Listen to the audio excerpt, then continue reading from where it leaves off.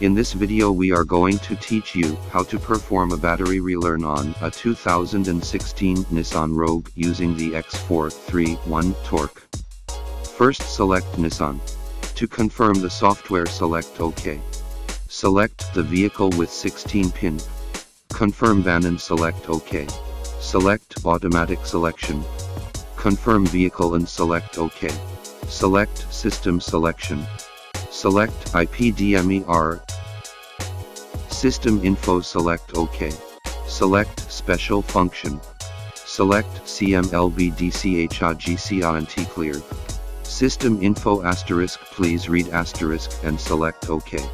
Select start. Once completed select the back button. And that's how to perform a battery relearn on a 2016 Nissan Rogue.